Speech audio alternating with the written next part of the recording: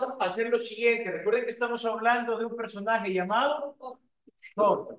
Es interesante porque el nombre Job se forma por una letra Aleph, por una Yod, eh, sigue una Bab y tiene también eh, una letra B. Eh, simbólicamente, es decir, simbólicamente, no importa si no entiendo lo que dice ahí, pero simbólicamente esta letra es la primera letra del alfabeto hebreo y su valor numérico es, es uno. Entonces es bien interesante que el nombre de Job comienza con el, con el número uno. ¿Y por qué es interesante? Porque se va a decir algo. La primera, la primera letra de un versículo o la primera letra de un libro en la Biblia es la letra que contiene, digamos, todo el espíritu del libro. Recuerde que la, la letra mata y el espíritu da vida. ¿Qué significa eso? Que detrás de la letra J, por decir algo, esto es bien importante, detrás de la letra J, la forma de la J la conocemos, pero la letra J tiene un espíritu. En misticismo no se le dice espíritu, se le dice energía, pero la gente ya se asusta al decir energía. es decir, es como nosotros, pues, el cuerpo de Argentina tiene una forma, el cuerpo de José tiene otra forma, pero bajo nuestra forma se esconde un espíritu. Raras veces nosotros vemos el espíritu o la energía. De allí que cuando Samuel, este es el ejemplo clásico, cuando Samuel ve la forma del hijo mayor de Isaí, así que imaginémonos una J. Él dice, la J, qué, qué grande es. Y Dios le dice, tú te equivocas porque tú ves la forma de la persona. Este es bien importante, pero yo el Señor veo el espíritu de la persona, veo el corazón de la persona, veo la energía de la persona, veo la vibra de la persona. De allí que cuando vemos la Biblia hay un problema fundamental. La mayoría de las personas ve la letra J, la letra O y la letra B de burro y dicen, ah, Job, vamos a hablar de Job. Eso es hablar de formas. Y está bien, uno puede hablar de la forma del libro de Job. Nosotros no estamos hablando de la forma del libro de Job, de lo que parece ser el libro de Job, de la forma de Kenneth por fuera. Estamos hablando del espíritu del libro de Job. ¿Se entiende la idea o no se entiende la idea? ¿Ok? Entonces, cuando vamos al hebreo, ¿ok? Es más interesante. ¿Por qué razón? Porque cada letra tiene un valor numérico. Esto también es fácil porque fuimos a mate y aprendimos que la L en números romanos, vamos a ver, vamos a ver si fue el examen, la L cuánto vale? Muy bien, 50. ¿La C cuánto vale? Sí. ¿La V cuánto vale? Muy bien. 10 en matemáticas. Ahora, aquí lo bonito es que comienza con la unidad. Fíjense cómo son las cosas. Es un nombre que comienza con la unidad, con uno. ¿Y por qué es importante esto? Ah, es importante porque Dios es uno. Pero al final del nombre ya vemos que hay un problema, porque la B vale, vale 2. Entonces aquí ya vemos que es un tipo que está peleado. En su inicio está la divinidad, Dios es uno, pero al final está la dualidad, ¿ok? Amigo, enemigo. Noche, día. Entonces podemos ver que ya en su nombre hay pleito. Así como en el nombre de todos nosotros tenemos pleitos. Jóvenes, enemigo mío. Es interesante también porque su nombre, mire qué letra más bonita tiene. Tiene también la letra Yod, la letra más pequeña del alfabeto hebreo. Con esa letra comienza el tetragrama, YHBH. Es decir, es, es, impresionante. ¿Ok? Pero no solamente tiene la primera letra del nombre de Dios, sino que luego le sigue la letra Vav, que vale, ¿cuánto? Seis el número de hombre. ¿okay? El número de Dios es siete. Así como pueden ver, el nombre, solamente el nombre ya nos habla. El nombre uno dice, qué increíble. Hay una contradicción y luego tenemos otra contradicción. La letra más potente, y por cierto, esta letra, la yo, ¿cuánto vale? Diez. pero el cero lo quitamos. Entonces tenemos otra vez uno. Y a la par tenemos seis. Tenemos el número de hombre y tenemos el número de división. Es decir, ese tipo está peleado. está bien peleado. Entonces ya estamos viendo algo que cuando uno ve la forma, las letras, la superficie de la letra no nos dice mucho. Pero con saber cuál es el valor de la letra, que ya uno puede, puede ver, mm, estoy viendo el espíritu de la letra. Es como hablan los abogados. Los, los abogados dicen, mire, eso dice la letra del documento, pero ¿cuál fue el espíritu del documento? Es exactamente, exactamente lo mismo. Así que estamos hablando de un personaje que está peleado consigo mismo, así como nosotros estamos peleados con nosotros mismos. Y hemos estado hablando del concepto de pecado. Hoy lo voy a retomar después de la brillante exposición que dio Ethel. Eso, Ethel, muy bien, ¿ok? Hoy lo voy a retomar el, el, el tema del pecado, claro. Eh, siguiendo la idea de Job. De pecado también, eh, una cosa es ver la palabra pecado. Y aquí también hay una desventaja porque ya todos tenemos prejuicios. Pecado, ir a bailar. No, vaya, vaya, vaya a bailar tranquilo. vaya a gozar bailando, disfrute bailando, ¿no? El pecado, mascar chicle. No, más que chicle tranquilamente, no hay ningún problema. No. Pero no lo peguen en la silla. Pero no lo peguen en la silla. Ya hay una idea preconcebida de pecado. Pero otra vez, si escucháramos al profeta Samuel, el profeta Samuel vendría y nos diría, ustedes están viendo pecado por fuera y se están perdiendo de ver realmente lo que es pecado. En la clase que abordamos el pecado dijimos que el primer pecado, eh, la palabra es het, y la noción es tener miedo, tener miedo. Job tenía miedo, Job tenía miedo de ser feliz. Si usted tiene miedo de ser feliz, usted es un gran pecador. Nunca me dijeron eso, y por eso era triste. Por eso, la, por eso la gente en las iglesias es triste. Sí, los ambientes son tristes. Porque pensamos, pensamos que ser alegre es un pecado. Hay gente que tiene miedo de estar alegre. Hay gente que tiene miedo de estar feliz. Hay gente que tiene miedo de andar riéndose, gozando o sintiendo, o sea, interiormente, ¿no? Un sentimiento de gozo, de gratitud. Job tenía miedo y él dijo, el mal que temía, ese me vino. ¿Okay? Por lo tanto, pecado es miedo. Los rabinos van a decir, se te va a juzgar más fuerte no por lo que hiciste, se te va a juzgar más fuerte por lo que dejaste de hacer. Así que haga todo lo que quiera. El mensaje de Eclesiastés, goza, joven, solo que ten en cuenta que de, cada acción darás cuentas, pero tú goza, disfruta. Es decir, es motivo de conciencia, es motivo de conciencia, pero todo está para ser disfrutado y todo está para ser gozado. Por lo tanto, se juzga más fuertemente lo que uno dejó de hacer. Por eso de las grandes crisis a los 60, 70, 80, no es lo que hice, es lo que yo siempre quise hacer y nunca lo hice por miedo. Dele, mamelia. Cásese por segunda vez, por tercera, por cuarta, por quinta. Dese gusto, porque del otro lado los ángeles no se casan ya. Ok, vaya a darse gusto ahorita. De este lado nos casamos, disfrutamos. Del otro lado, Amelia, olvídese el placer. ¿Ok? Hay otro tipo de placer del otro lado. Muy, bien. Entonces, pecado, pecado bien interesante, tiene que ver con esos miedos. La parábola de los talentos. ¿Te, acordabas, Manuel? Tú hablabas. ¿Por, qué, ¿Por qué se le recriminó al que guardó el, eh, el, talento? Por miedoso. Tuve miedo.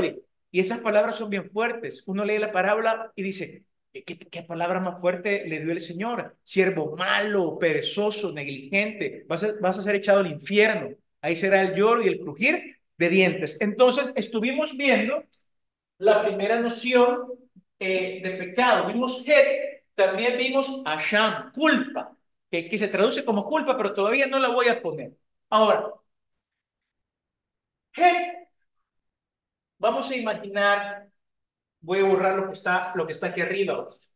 Vamos a imaginar,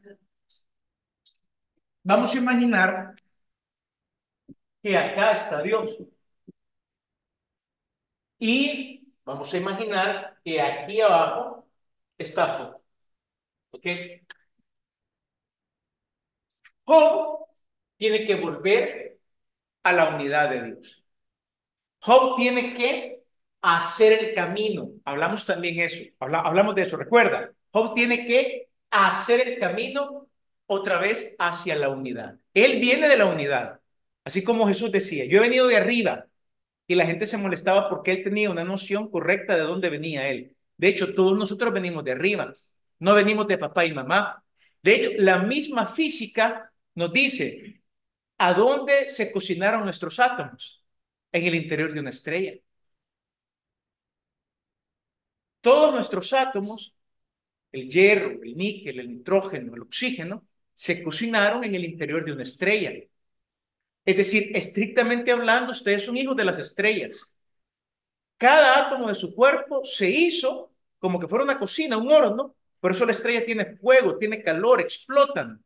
Y en esas dinámicas de, las estrellas, ahí se formaron los elementos que tiene su cuerpo humano. Lo que pasa es que nosotros no llegamos hasta ahí, con que raras veces sabemos quién fue nuestro bisabuelo. Sí, imagínense, raras veces llegamos hasta el bisabuelo. Mucho menos vamos a llegar. ¿Y quién era el abuelo de mi bisabuelo? ¿Y quién era el bisabuelo de mi bisabuelo? ¿Y quién era el tatarabuelo de mis abuelos? Raras veces nosotros llegamos al origen. Por eso Teshuvah, la palabra retorno, que mal se traduce como arrepentimiento, ¿qué significa? Retorno. ¿Y retorno a dónde? Retorno al lugar de donde usted viene. Por eso Jesús decía lo siguiente, ¿ok? Yo he venido de arriba, mi tiempo ya lo cumplí. Padre, Evangelio de Juan, recíbeme con la gloria que tuve desde el principio. Venimos de allá y volvemos allá. Venimos del uno, ¿ok? Venimos del uno, experimentamos lo que es un mundo dividido y tenemos que volver a subir. Muy bien, para volver a subir, para caminar el camino, muchas veces es que el mal toca nuestra puerta porque nos quiere despertar. Entonces, la primera noción de pecado, este creo que habló de esto la vez, eh, la vez pasada, la primera noción de pecado corresponde o equivale, corresponde, otra, otra, otra palabra un sinónimo es, equivale a Atzilut. Voy a explicar qué es Atzilut. Atzilut, de acuerdo a la tradición también de los rabinos, esto es muy importante porque nosotros durante muchos años estudiamos el Talmud. En el Talmud también aparecen estas ideas. Esto es muy importante. La mística no es más que la tradición de boca en boca de los sabios. Solo que esos capítulos del Talmud nunca los leímos, poca gente lo lee. ¿okay? Pero el misticismo no es más que estudiar Talmud a profundidad, solo que estas ideas, repito, raras veces se estudian. Entonces, eh, en el camino hacia arriba, mejor dicho, primero vamos de, de arriba hacia abajo. Cuando el verbo se hace carne, Job es un ser humano, un ser humano que vive en todos los tiempos, lo recuerda. No es un personaje histórico, vive en todos los tiempos, como Adán, como Moisés, como David, ¿ok? Cuando Dios crea al hombre a imagen y semejanza divina, en ese proceso en que la divinidad va descendiendo, miremos esto como un embudo. ¿Han visto un embudo? La parte del embudo de arriba es bien grande. Supongamos que ese es Dios. Y a medida el embudo va bajando, termina bien delgadito. Ese es el ser humano. Por lo tanto, la parte más ancha del embudo, supongamos que el ser humano corresponde a la parte más chiquita del embudo. El embudo tiene que irse haciendo grande otra vez. El embudo tiene que irse haciendo grande otra vez. Pero ahorita no lo vamos a ver desde Job hacia Dios, lo vamos a ver desde, desde Dios, desde el embudo, es decir, desde la parte más ancha del embudo lo vamos a ver hasta la parte más delgada del embudo. Cuando el embudo se comienza a hacer más chiquito, el primer nivel se llama Atzilut. Voy a explicar qué es. Atzilut significa sombra. Viene del hebreo Etzel. ¿Y qué es eso? Este lugar es la sombra de Dios. Es decir, le voy, le voy a llamar un cielo. ¿Se acuerda usted que el judaísmo habla de diferentes cielos? Le voy a llamar cielo, otra palabra es universo. Viniendo de Dios para acá, encontramos el primer universo que se llama el universo y en español es el universo de la emanación. Lo emanado. ¿Qué es algo emanado? Eh, ¿Alguien tiene un barro? ¿Una espinilla? Sí. Una espinilla suya es algo emanado. Es decir, no es algo distinto de usted es una emanación. Una espinilla que está en mi cuerpo, que es algo emanado, ha emanado de mí. De modo que este cielo o este universo, la sombra de Dios, la emanación de Dios, es, por así decir, una primera etapa. en la cual el gran embudo divino se va haciendo más chiquito, se va restringiendo, se restringe. Hay una segunda etapa. Esa segunda etapa, ok, hay, por cierto, no olvide que este cielo corresponde a la noción de pecado que estudiamos hace como dos sábados. La siguiente noción de pecado es la palabra abón y corresponde a otro cielo o a otro universo eh, que se conoce como brillar. Usted mire cómo el, cómo el embudo, voy a ver si logro dibujar aquí, bien, muy bien, aquí está el embudo. Mire usted cómo el embudo se va haciendo más, más pequeño. Brilla, los rabinos le van a llamar el universo o el cielo de la creación. Ahora, aquí pasa algo bien interesante, pero algo muy, pero muy, pero muy interesante pasa, pasa en el universo de la creación. El barro, si hay un barro, si hay una espinilla, que es emanada, ¿ok? La espinilla de alguna manera sabe que está bajo mi sombra. Pero en la creación sucede algo interesante. Como que yo agarro un papel y dibujo algo y se los muestro. El dibujo aparentemente no soy yo, aparentemente. Pero el dibujo ha salido de mí. Ha sido creado por mí. Y en la creación ya hay un peligro. En la creación está el peligro de que lo creado, de que lo que ha sido creado, se siente independiente.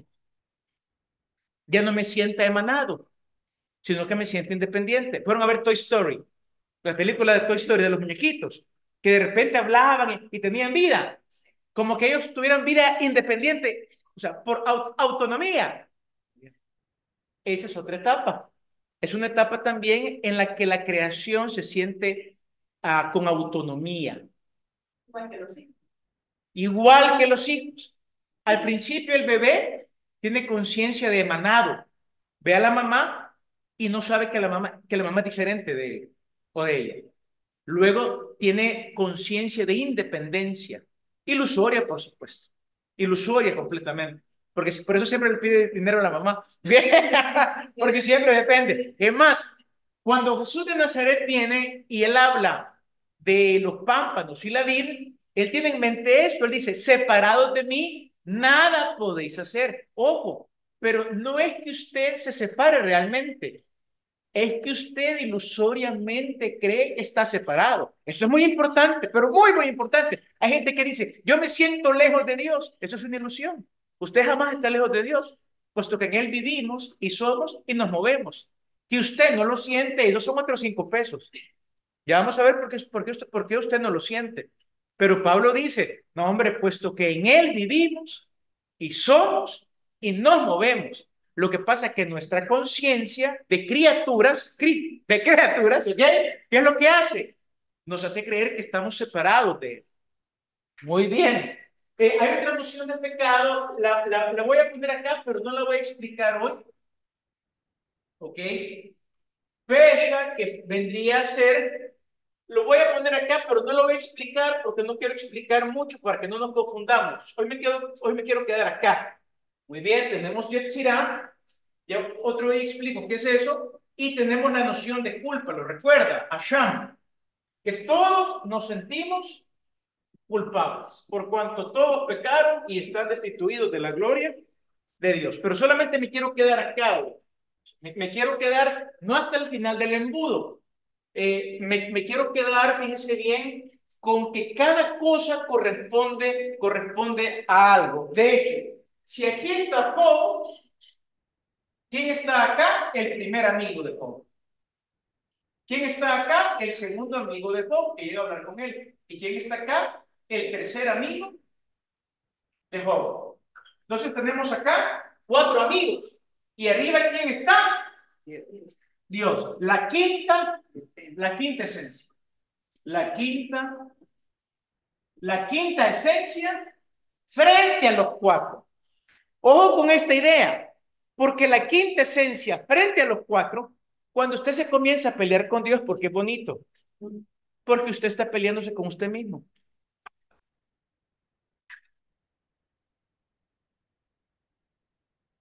Por eso es importante llegar al punto de Jeremías, maldito el día en que nací. Por eso, por eso es importante el sufrimiento. Maldito sea el hombre que le dijo a mi mamá que iba a tener un hijo varón. Esas crisis, ¿por qué son bonitas? Porque nos hacen despertar conversaciones bien profundas. Por eso el sufrimiento lo hemos venido estudiando. Porque en, ese, en esos momentos de mucho sufrimiento, cuando Job, Job al principio está tranquilo, dice, Dios da, Dios quita, pero de repente es tocado en lo más profundo de su ser. Cuando es tocado en su cuerpo, ahí comienza la conversación con su primer amigo, que corresponde ¿ok? A un, a un segundo nivel de pecado, a un tercer nivel de pecado, a un cuarto nivel de pecado. Ojo con esto. Alguien dice, hey, pero entonces el pecado es necesario para subir. Pues ¿para qué le digo que no? Sí, sí. Así que peque a gusto. oh, pero aquí hay un problema. Que para nosotros pecado ya es el pecado de la iglesia. Es que no me refiero a ese pecado. Es decir, ya hablamos de este pecado. Pecados profundos. Que no enfrento mis miedos. Pues voy a hablar de este pecado, abón. Pero pecados de los más profundos son. Son las cosas que más vamos a llorar. Lo que no hicimos parábola de los talentos. Lo que no hicimos porque tuvimos miedo. Ahí la gente va a llorar. Y ojo, no, no vas a entrar al reino de los cielos. Hasta aquí va a llegar, hasta Tzilut va a llegar. Ya es bonito estar ahí, ya es bonito. Se siente a Dios, se siente a Dios acá. Ya es como el barro en la piel. Dice, yo soy parte del cuerpo, pero todavía no ha llegado. Por eso es importante pasar esa frontera, la frontera del miedo. La frontera de que si yo todavía tengo vida, y esta es la cosa, si usted tiene vida es porque todavía no ha hecho lo que usted ha sido llamado a hacer. Por miedo. Por eso se le está alargando la vida.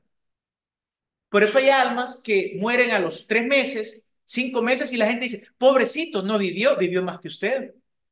Porque a los cinco meses quizás solamente vino a dar, qué sé yo, una sonrisa a los padres, una sonrisa a los abuelos. Cumplió su misión y se va. La gente piensa que largura de vidas, por eso es interesante cuando el texto dice, y los años de Abraham o los años de la vida de Sara fueron, lo, dice en unidad, en decenas. ¿Por qué lo dice así? Porque en verdad cuenta los años que se han vivido. Alguien dice, ya tengo 80 años, qué larga vida. Puede ser que de, los 80 usted no, no haya vivido nada. Sí, porque solo se vive lo que se vive intensamente, lo que se vive apasionadamente, lo que se vive cantando, lo que se, lo que se vive con gozo, con intensidad orgásmica, o llorando, gritando, sufriendo. Se vive, se vive cuando se pierde la noción del tiempo. De lo contrario, no se vive. Por lo tanto, estábamos hablando de este pecado que corresponde a un mundo que, que es la emanación. Aquí, uno lo que siente a estas alturas de su crecimiento espiritual es una cercanía con Dios. Hay gente que dice que yo siento que Dios está bien cerca de mí. Yo creo que acá todos hemos sentido a Dios bien cerca, en alguna etapa de la vida. Uno dice, es que yo siento que Dios está aquí ahorita, hoy sí lo siento. Y después dice, ya se fue, no se ha ido a ningún lado. Usted ha perdido la conciencia divina. Porque la conciencia divina, el que usted ha sido creado a imagen y semejanza divina, eso se pierde en un segundo. En un segundo de las cosas que más nos hace perder la conciencia divina es, tengo miedo. Tiene miedo, ya no tiene conciencia divina. Por eso Jesús en los evangelios decía, la frase favorita de Jesús, no tengan miedo, hombres de poca fe. En el momento que tengo miedo, no tengo conciencia divina. Voy otra vez para abajo. Voy otra vez para abajo. Por eso el miedo es de las cosas peores que pueden haber en la vida de cualquier ser humano, el temor, el miedo. Y por eso Hebreos es bien claro, la carta a los Hebreos. Dice, y, liberó de la esclavitud a todos aquellos que por temor a la muerte vivían vidas de esclavitud. Muy bien. Segunda noción de pecado. Eh, el universo, brilla significa creación. La creación guarda una estrecha relación con la palabra salud. Salud.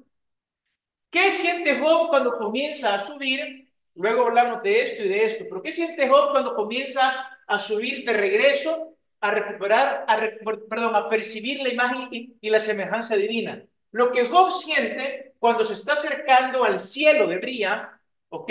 Y también experimenta a su segundo amigo que está en lo profundo de él, que corresponde a una noción de pecado que se llama Abón, y se llama Abón, es interesante, porque si, fonéticamente suena igual que la palabra fuerza, poder. Ya lo voy a explicar para que miremos. Cuando, cuando llegamos acá, al universo de la creación y de la salud, voy, voy, a explicar acá qué es lo que sentimos. Lo que se siente es que soy creativo. Tengo ganas de crear. Tengo ganas de trabajar. Tengo ganas de emprender. Me doy cuenta que el ser, que el ser es sumamente creativo. También todos acá hemos tenido esa sensación de que hay días o hay etapas de la vida en las que nos sentimos, quiero crear algo y siento que puedo crear cualquier cosa, una empresa, un negocio, un libro, una pintura, puedo crear una familia, puedo, que, eh, puedo ser creativo con cómo adorno mi casa, puedo ser creativo con cómo reparo mi vehículo, puedo ser creativo con cómo pinto un cuadro. Hay etapas en las que uno dice, me siento pero muy creativo y, tengo ganas de trabajar con las manos o tengo ganas de trabajar elaborando un plano o, o sea, tengo ganas de hacer algo. ¿Por qué? Porque siento poder de creatividad. Eso es cuando mi alma está elevándose otra vez hacia, hacia la divinidad. Pero pasa algo, pasa algo. Eh, lo creativo, fíjese bien, es un cielo que está bien cerca bien cerca de Dios, es decir, bien cerca del ser. Muy cerca del ser. Este es el universo emanado, universo emanado, universo creado. Y aquí aparece un pecado. ¿Cuál es el pecado que aparece? Mire bien, aparece el pecado de Abón. Fuerza, poder. ¿Qué significa eso? Significa, mmm, yo puedo creer que mi creatividad, mi trabajo y mi emprendimiento se lo debo a mi fuerza y a mí. Lo voy a explicar de dos maneras. Otra noción de pecado. Ya vimos la primera. Esta noción de pecado es cuando yo ilusoriamente creo que las cosas pasan que las cosas que yo creo son porque yo las hago. Eso es. El primero, ya lo dijimos, es tener miedo al fracaso. Segundo, cuando yo creo que las cosas están bajo mi responsabilidad. El negocio va bien porque yo estoy ahí.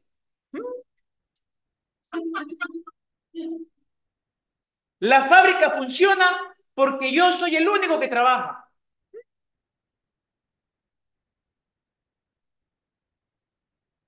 Este hogar camina porque soy el pilar de esta familia.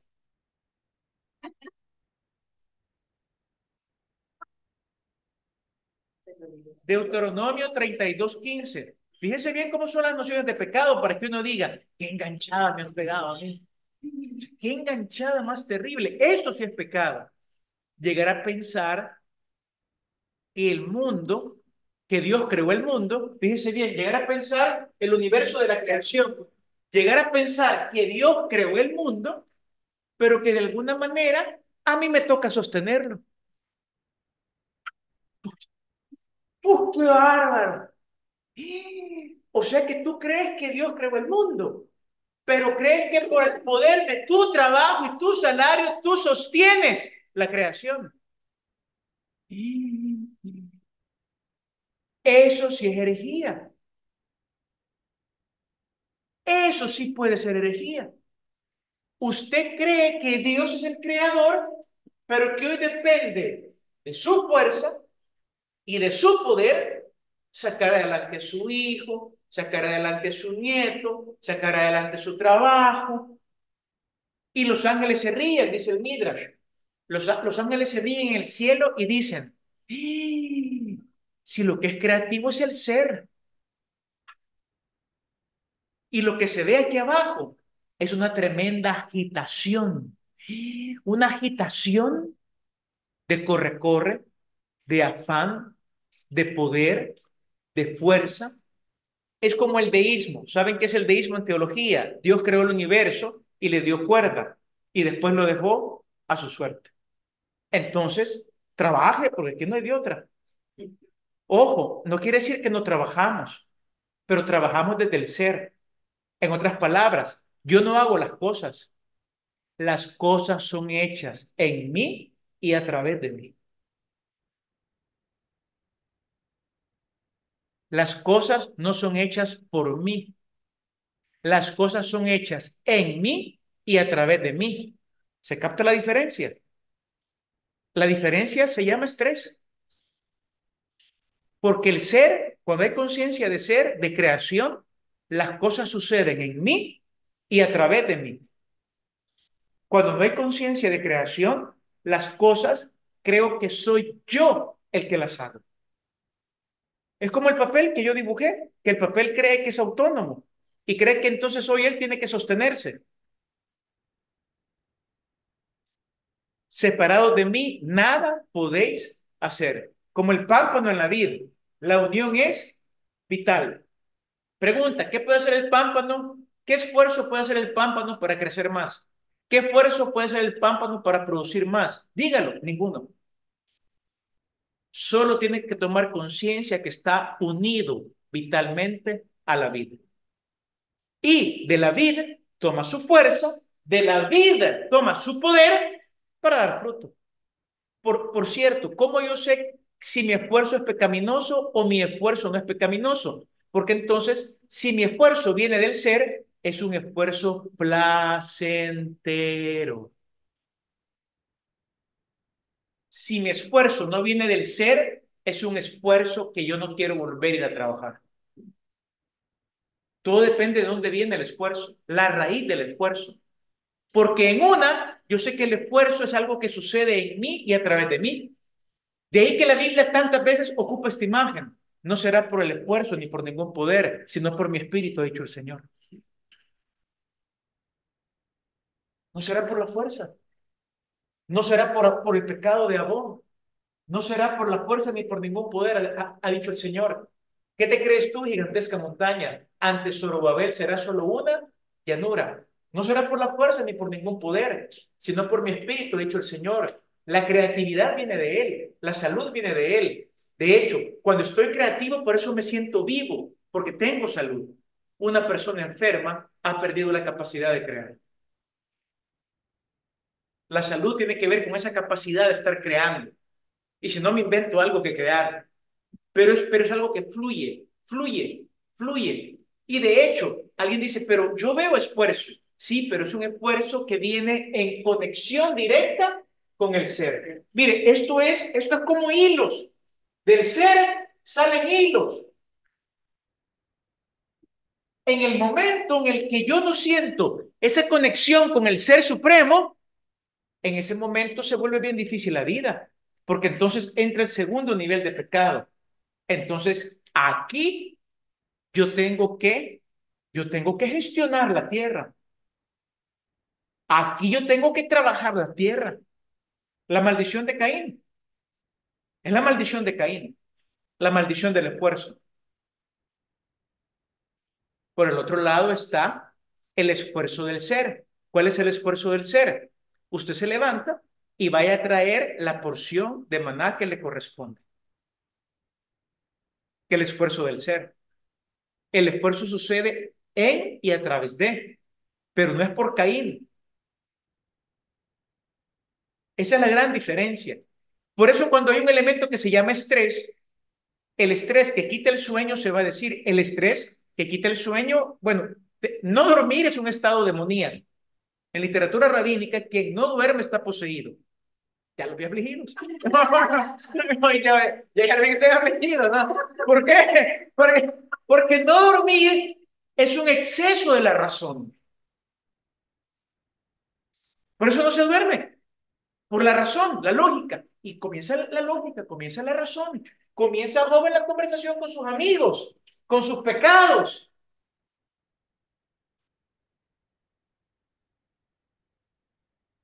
Cuando, por este lado, si esta es la vida despierta, vamos a poner, si este es joven la vigilia, este es joven la vigilia.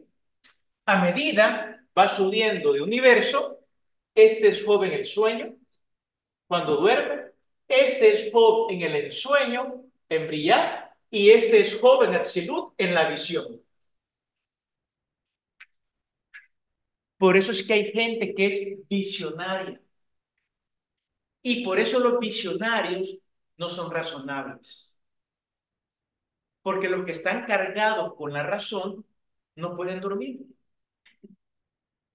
Por eso la industria farmacéutica que conoce, mejor la industria farmacéutica conoce estas cosas. Les dicen, no, hombre, ayudémosle a dormir a la gente. Pero si nosotros tenemos la capacidad de comenzar a hacer otra vez el camino de, retorno, tenemos que luchar con, estos pecados. Creer en mi fuerza, en mi poder. Recuerda el Deuteronomio, lo que decía Israel. Recuerda que Dios te da el poder para hacer riqueza. Nunca se te ocurra pensar que fue mi mano y mi fuerza. Deuteronomio 32, 15. Jesurún engordó y dio cosas. ¿Lo recuerda? Jesurún es eh, Jerusalén. Engordó y dio cosas. ¿Por qué? Por su fuerza y por su poder. Correcto. Pensar que las cosas es por mi gestión, por lo que yo trabajo, por lo que yo me he fajado, por las horas extras de desvelo, porque yo trabajo sábado, porque yo trabajo domingo, porque de alguna manera hay un creador, pero ese creador se olvidó de mí, se olvidó del país, se olvidó de las lluvias, se olvidó del maíz, se olvidó del frijol, entonces ni modo, me toca a mí.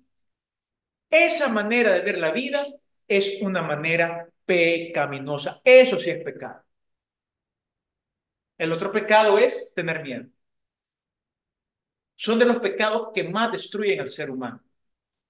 Entonces somos llamados, Job viene y el mal lo estimula a hacer otra vez el camino de retorno y en el mal aparecen sus amigos, ¿ok?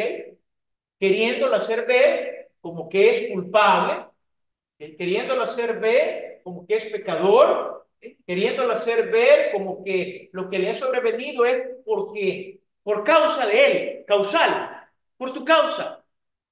Pero cuando vamos a descubrir, momento, momento, momento, aquí todo lo que nos viene, nos viene desde el ser. Y de alguna manera profunda, hay algo que va más allá de la causa. Es decir, mi trabajo no es la causa de mi ingreso. Mi ingreso viene del ser. Por eso, por eso en Rosh Hashanah, por eso cuesta mucho la fiesta bíblica cuando decimos, este día se decreta desde el ser, se decreta todo lo que te va a llegar a tu casa. Eso es Rosh Hashanah. Se decreta desde el ser todo lo que te va a llegar. Claro, pero el ser humano lucha mucho con este pecado. No, pero no puede ser. Eso no puede ser. Yo tengo, yo tengo que esforzarme. Yo, tengo que meterle ganas a eso. Sí, pero desde el ser. Algo que sucede a través de ti. No una fuerza, no una fuerza que es por ti, una fuerza exclusivamente humana. Es una fuerza divina, no humana. Volvemos a la letra J, recuerda, la gente solo conoce la, fuerza exterior. Poca gente conoce su fuerza interior. Y en la fuerza interior basta solamente una palabra. Este año ya está cubierto. Entonces usted sale a trabajar, pero sale a trabajar desde el ser, no desde el tener. También ese es otro problema. La gente no trabaja desde el ser. La gente trabaja desde el tener. Por lo tanto, en el ser, ¿ok? Simplemente es un trabajo que sucede en mí y a través de mí. Como el trabajo del pámpano. O sea, el trabajo del pámpano no es independiente de toda la vida. Si no hay un buen labrador, mi padre es el labrador, si no hay un buen labrador que está labrando la viña, ¿qué puede hacer el pámpano? Nada. Pero si somos muy honestos, ¿cuántos años de nuestra vida nosotros hemos dicho, este año está, yo estoy a cargo de este año? ¿Y cómo lo sabemos? Por el montón de enfermedades que tenemos. La nuca tiesa, la espalda de lado. Los triglicéridos a tope, el cortisol, no dormimos. ¿Y por qué? Porque ilusoriamente la creación que está unida al ser se cree independiente y dice, ni modo, a echarle riata, a echarle ganas. No, no, no. El esfuerzo debe ser un esfuerzo placentero. En el momento en el que el esfuerzo ya no es placentero, yo debo de parar y preguntarme, ¿qué es la gran pregunta de la Biblia? ¿En qué fuerza estás haciendo tú eso? ¿En el nombre de quién haces tú eso? De allí frases ¿no? que se dan en el mundo protestante. No, ya no lo quiero hacer, ya no lo quiero hacer en mis fuerzas. Lo quiero hacer en el nombre del Señor. Lo decimos, es fácil decirlo, pero obedece a esta dinámica. Obedece a la dinámica de cómo funciona, cómo funciona en el libro de Job, el que Job poco a poco comience a abrir sus ojos y se dé cuenta de que, bueno, de hecho él decía, es que aquí no hay, nada es causal, yo no me he portado mal. Y de hecho Job tenía la razón. Si es que él no había hecho nada malo. Ni nada bueno. Eso es lo que es. Y él tenía que comenzar a caminar su camino de retorno a Dios. Al final, Job dice, de oídas yo te había oído, mas ahora mis ojos te ven. Y de hecho, un par de preguntas le hace el ser, el ser supremo le hace un par de preguntas. Job le dice, Brian, ¿quién alimenta a los insectos? ¿Quién alimenta las cabras? ¿Quién al y comienza? ¿Quién alimenta al Leviatán? ¿Quién alimenta a Behemoth? ¿Qué está haciendo el Eterno, el Ser Supremo? Está destruyendo la fuerza y el poder. Él está diciendo, es momento de abrir los ojos. De hecho, Jesús por la misma línea iba. Que ¿Quién alimenta a las aves? A los lirios del campo, ¿quién los viste? Por la misma línea va Yeshua, por la misma línea, por la misma línea, por la misma línea. Y lo mismo hace Jesús con los alumnos de él. Él le dice, hombres de poca fe, busquen primeramente el reino de Dios. Busquen, busquen brillar, busquen Atzilut, busquen la conexión con la creación, con la salud, con el trabajo, pero con el trabajo creativo, con el trabajo del ser. Busquen la conexión con la emanación, con mi sombra, con mi cercanía. Busquen la conexión con el sueño, busquen la conexión con el ensueño, busquen la conexión con la visión, busquen la conexión con el sueño, porque mientras ustedes duermen, el ser envía maná.